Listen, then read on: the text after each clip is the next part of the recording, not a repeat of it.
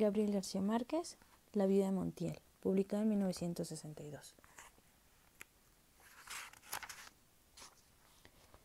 Cuando murió don José Montiel, todo el mundo se sintió vengado, menos su viuda. Pero se necesitaron varias horas para que todo el mundo creyera que en verdad había muerto. Muchos lo seguían poniendo en duda después de ver el cadáver en cámara ardiente, embutido con almohadas y sábanas de lino dentro de una caja amarilla y abombada como un melón. Estaba muy bien afeitado, vestido de blanco y con botas de charol.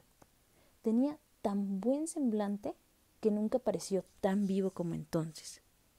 Era el mismo don Chepe Montiel de los domingos, oyendo misa de ocho, solo que en lugar de la fusta tenía un crucifijo entre las manos. Fue preciso que atornillaran la tapa del ataúd y que lo emparedaran en el aparatoso mausoleo familiar para que el pueblo entero se convenciera de que no se estaba haciendo el muerto. Después del entierro, lo único que a todos les pareció increíble, menos a su viuda, fue que José Montiel hubiera muerto de muerte natural.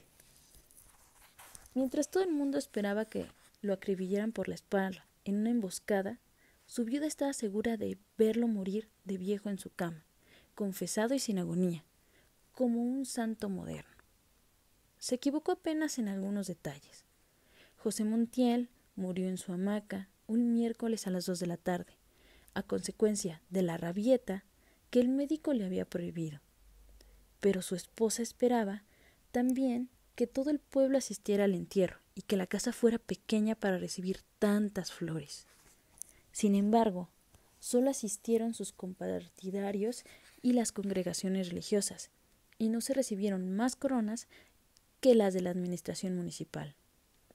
Su hijo, desde su puesto en consular de Alemania, y sus dos hijas, desde París, mandaron telegramas de tres páginas.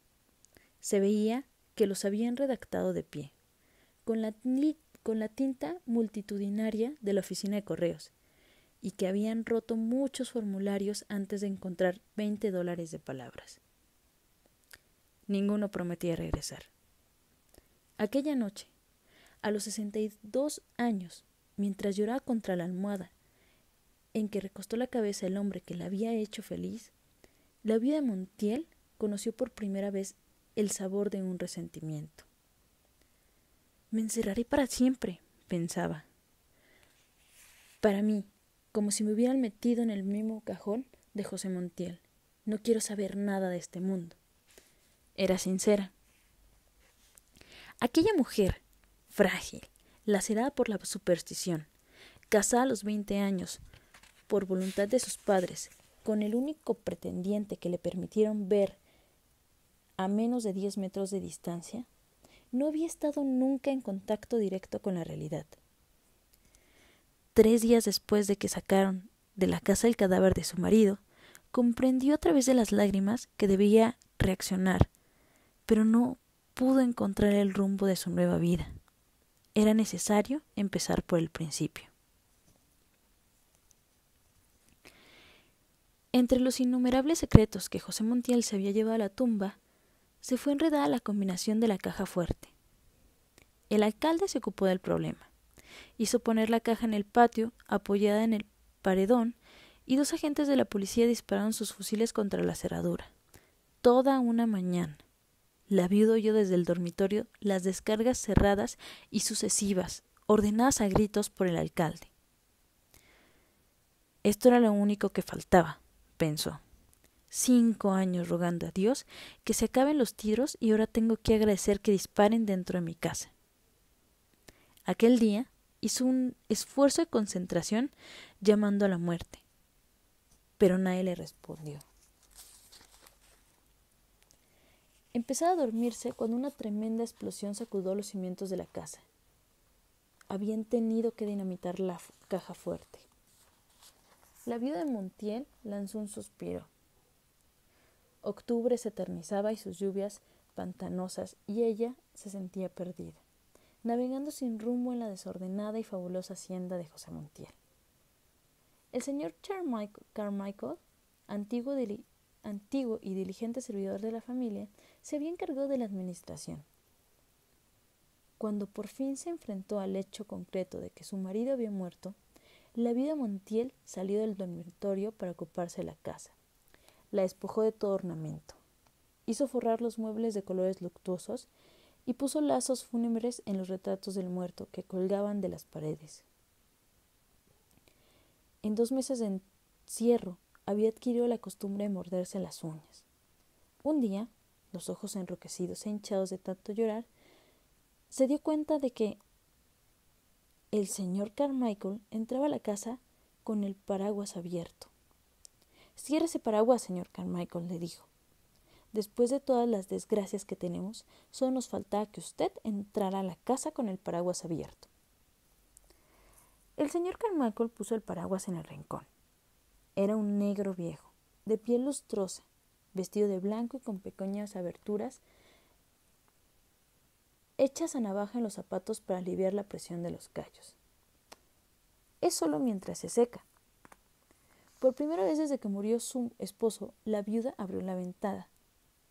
Tantas desgracias y además este invierno, murmuró mordiéndose las uñas.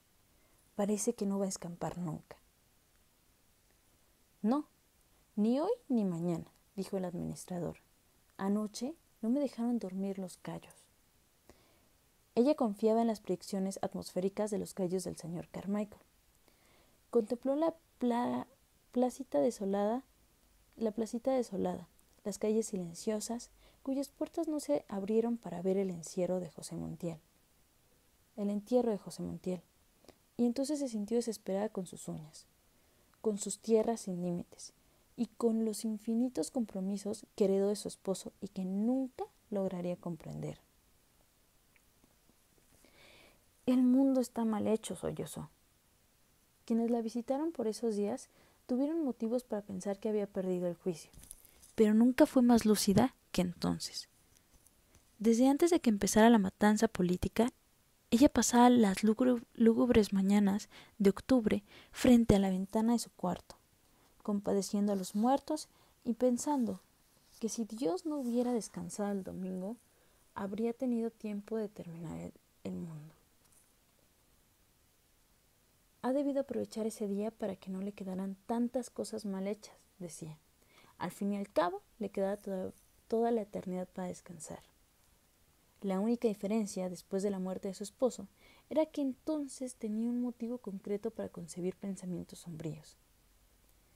Así, mientras la viuda de Montiel se consumía en la desesperación, el señor Carmichael trataba de impedir el naufragio. Las cosas no marchaban bien. Libre de la amenaza de José Montiel, que monopolizaba el comercio local por el terror, el pueblo tomaba represalias.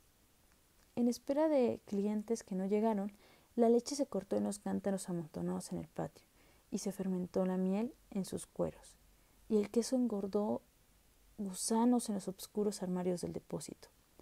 En su mausoleo, adornado con bombillas eléctricas y arcángeles en imitación de mármol, José Montiel pagaba seis años de asesinatos y atropellas. Nadie en la historia del país se había enriquecido tanto en tan poco tiempo. Cuando llegó al pueblo, el primer alcalde de la dictadura, José Montiel era un discreto partidario de todos los regímenes, que se había pasado la mitad de la vida en calzoncillos, sentado a la puerta de su piladora de arroz. En un tiempo se disfrutó de una cierta reputación de afortunado y buen creyente, porque prometió en voz alta regalar al templo de San José un San José de tamaño natural si se ganaba la lotería, y dos semanas después se ganó seis fracciones y cumplió su promesa. La primera vez que se le vio usar zapatos fue cuando llegó el nuevo alcalde, un sargento de la policía, zurdo y montaraz, que tenía órdenes expresas de liquidar la, la oposición. José Montiel empezó por ser su informador confidencial. Aquel comerciante modesto, cuyo tranquilo humor de hombre gordo no despertaba la menor inquietud, discriminó a sus adversarios políticos en ricos y pobres. A los pobres los acribilló la policía en la plaza pública. A los ricos les dieron un plazo de 24 horas para abandonar el pueblo. Planificando la masacre, José Montiel se encerraba días enteros con el alcalde en su oficina sofocante. Mientras su esposa se compadecía de los muertos, cuando el alcalde abandonaba la oficina, ella le cerraba el paso a su marido. Ese hombre es un criminal, le decía. Aprovecha tus influencias en el gobierno para que se lleven a esa bestia que no va a dejar un ser humano en el pueblo. Y José Montiel, tan atareado en esos días, le apartaba sin mirarla diciendo No seas pendeja. En realidad su negocio no era muerte, era la muerte de los pobres, sino la expulsión de los ricos. Después de que el alcalde les perforaba las puertas a tiros y les ponía el plazo para abandonar el pueblo, José Montiel les compraba sus tierras y ganados, por un precio que él mismo se encargaba de fijar. No seas tonta, le decía su mujer, te arruinarás ayudándolos para que no se mueran de hambre en otra parte, y ellos no te lo agradecerán nunca.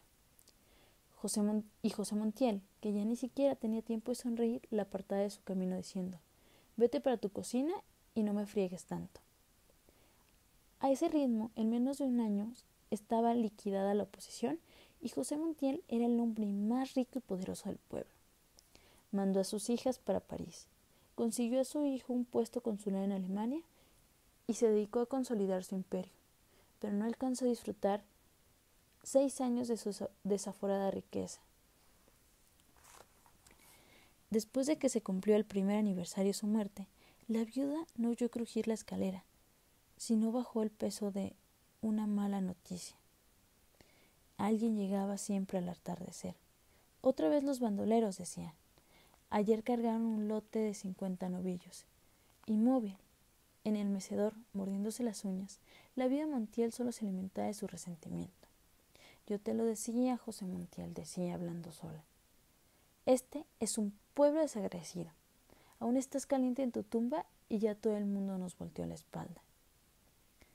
Nadie volvió a la casa. El único ser humano que, que vio en aquellos meses interminables en que no se dejó, en que no dejó de llover, fue el perseverante señor Carmichael que nunca entró a la casa con el paraguas cerrado. Las cosas no marchaban mejor. El señor Carmalco le había escrito varias cartas al hijo de José Montiel. Le sugería la conveniencia de que viniera a ponerse al frente de los negocios, y hasta se permitió hacer algunas consideraciones personales sobre la salud de la viuda. Siempre recibió respuestas evasivas. Por último, el hijo de José Montiel contestó francamente que no se atrevería a regresar por temor a que le dieran un tiro. Entonces el señor Carmichael subió al dormitorio a la viuda y se vio precisado a confesarle que se estaba quedando en la ruina. Mejor, dijo ella, hasta la estoy hasta la coronilla de quesos y de moscas. Si usted quiere, llévese lo que le haga falta y déjeme morir tranquila. Su único contacto con el mundo a partir de entonces fueron las cartas que escribía a sus hijas a fines de cada mes. Este es un pueblo maldito, les decía. Quédense allá para siempre y no se preocupen por mí. Yo soy feliz sabiendo que ustedes son felices. Sus hijas se turnaban para contestarle. Sus cartas eran siempre alegres y se veía que habían sido escritas en lugares tibios y bien iluminados, y que las muchachas se veían repetidas en muchos espejos cuando se detenían a pensar. Tampoco ellas querían volver. Esto es la civilización, decían. Allá, en cambio, no es un buen medio para nosotras. Es imposible vivir en un país tan salvaje donde asesinan a la gente por cuestiones políticas. Leyendo las cartas, la vida Montiel se sentía mejor y aprobaba cada frase con la cabeza. En cierta ocasión, sus hijas le hablaron de los mercados de carne de París. Le decía que mataban unos cerdos rosados y los colgaban enteros en la puerta adornados con coronas y guirnaldas de flores. Al final, una letra diferente a la de sus hijas había agregado. Imagínate que el clavel más grande y más bonito se lo ponen al cerdo en el culo. Leyendo aquella frase por primera vez en dos años, la viuda de Montiel sonrió. Subió a su dormitorio, a su dormitorio sin apagar las luces de la casa, y antes de acostarse volteó el ventilador eléctrico contra la pared. Después, extrajo de la gaveta de la mesa de noche unas tijeras, un cilindro de esparadrapo el rosario y se vendó la uña del pulgar derecho, irritada por los mordiscos. Luego empezó a rezar, pero al segundo misterio cambió el rosario de la mano izquierda, pues no sentía las cuentas a través del esparadrapo. Por un momento oyó la trepidación de los truenos remotos. Luego se quedó dormida, con la cabeza doblada en el pecho. La mano en el rosario rodó por un costado y entonces vio a la mamá grande. En el patio, con una sábana blanca y un peine en el regazo, destripando piojos con los pulgares, y le preguntó, ¿Cuándo me voy a morir? La mamá grande levantó la cabeza. Cuando te empieza el cansancio del brazo.